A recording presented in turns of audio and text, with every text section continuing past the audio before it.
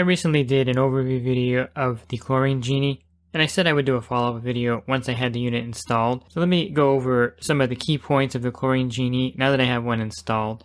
And of course the first thing is that you're no longer going to need any kind of chlorine in the pool, nor will you need to add any kind of muriatic acid going forward with the Chlorine Genie installed. So I removed the tablet floater from the pool here. The Chlorine Genie actually seems to be producing a pretty large amount of chlorine. I have this pump running at 2600 RPMs and I can see that the tubes are really filling with chlorine. And I can also see that the water in the brine tank had a tint to it, so it's definitely working. Let me back up a minute here, and I mentioned in the first video how the Chlorine Genie works. There's a salt cell that sits inside the unit in the brine tank. So the first thing that we did was add two 40 pound bags of extra coarse salt, and then we filled the tank with water up to a certain point, and here's the area that you want to fill it to. And then, of course, you would plug the unit in, and the power comes from the back of the unit, and this powers the salt cell inside there. And immediately after turning on the unit and adjusting the flow of the high pressure, the chlorine production started immediately. In the return jets, you can see the bubbles here, and this is much like the bubbles in a salt cell. If you have like a true clear salt cell, you can see the bubbles on top, and this indicates that the chlorine is being produced and in the pool you're going to see the bubbles coming out of the return line. It's perfectly normal, nothing to be alarmed about, and this will happen as long as the chlorine genie is active in producing the chlorine in the pool.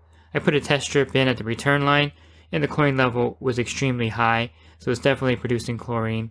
Plus again, when I opened up the lid of the brine tank, I could smell the odor of the chemical reaction of that actual production of the chlorine in there.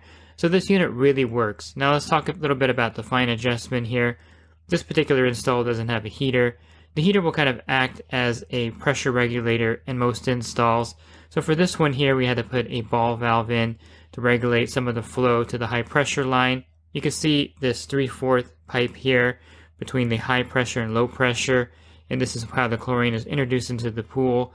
There's a venturi, much like what you would find in a Polaris cleaner with the jets that kind of take the high pressure and reduce it down and this is how the chlorine is in injected into the pool. As far as the chlorine genie itself, so on top is this ball valve that turns on and it opens up to let the water flow in when the chlorine genie unit is active.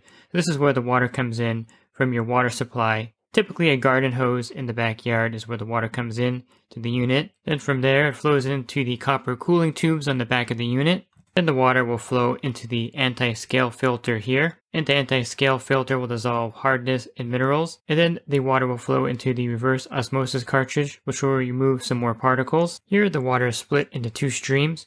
One stream is the soft water that drips back into the brine tank. This soft water prevents the scale from forming on the cell, meaning that the salt cell should stay a lot cleaner than a saltwater generator. The other stream is the untreated hard water, and it flows through the flow restrictor and then into the mixing chamber. This water will absorb the chlorine gas, and the chlorinated water is dispensed back into the pool. There's one more electronic ball valve here on the bottom, and this is where the chlorinated water is returned back into the pool. It looks complicated, but the actual water flow is actually pretty simple if you actually watch the device as it's working. Another important aspect of the chlorine production is that the timer on top of the chlorine genie has to match the timer of the pool. So this one here is set to run from 9 a.m. to 3 p.m. And the pool itself is set to start at 8.30 and run to 4 p.m. So it's really important that the timers match so that the chlorine genie comes on when the pool comes on. And this will ensure that it will be producing chlorine. Also on the front of the chlorine genie is this amperage meter and it should be reading 15 amps when it's producing. And as the salt in the brine tank is being used up, you have to recharge that probably about once a month, depending on the usage of course and you would use a 40 pound bag of the extra coarse salt to recharge it. You have the salt stick in front here, and when it drops down to a certain level, this indicates that you need to add more salt to the unit. Another nice benefit of the Chlorine Genie is that it will regulate the pH in the pool for you with this pH drain here, so you will no longer need to add muriatic acid to lower the pH down in the pool, nor soda ash to raise it up. One of the side effects of a saltwater generator is that it produces sodium hydroxide, with the chlorine genie, with the pH drain, you can actually release some of the sodium hydroxide, and this will lower the pH down. You want to set up the pH drain so that it drains into a safe area, either the dirt, gravel, or drain.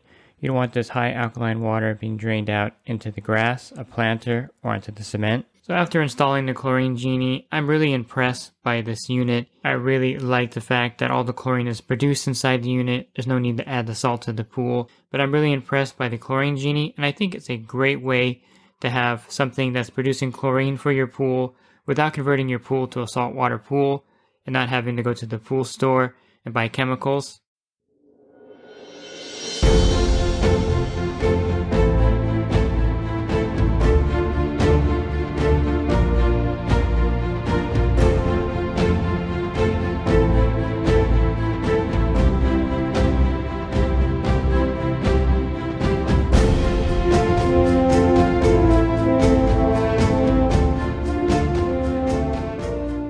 Pool Service Pro. Open a Leslie's wholesale account today and receive wholesale pricing on products you use every day. Leslie's Pool Supply offers convenient locations that are open seven days a week. Another great benefit of opening a Leslie's wholesale account is Leslie's referral program. Get referred to a customer looking for weekly pool service. Save time and money and grow your pool service route and become a Leslie's Pro.